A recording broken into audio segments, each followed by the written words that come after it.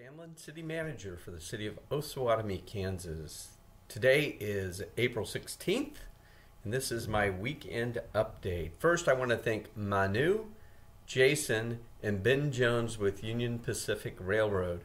Uh, we were able to secure a number of old railroad artifacts from the boneyard here in Osawatomie.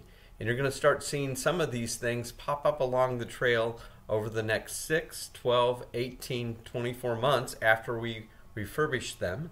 Again, many thanks to Union Pacific and for their help in securing some really cool old railroad stuff.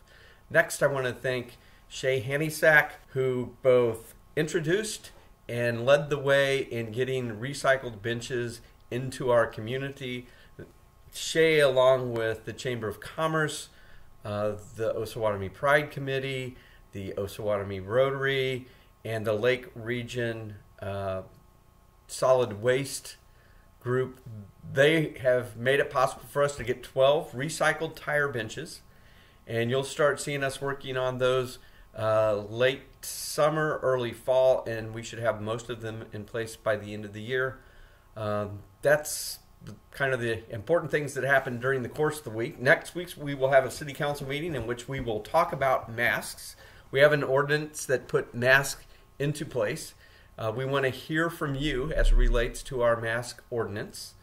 Uh, we'll, we will likely move our meeting from Memorial Hall to Municipal Auditorium.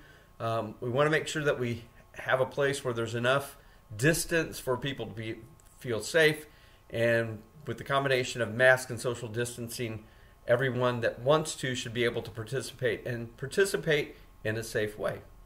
With that, have a good weekend. The sun's going to come out tomorrow. May the rain end by midnight tonight.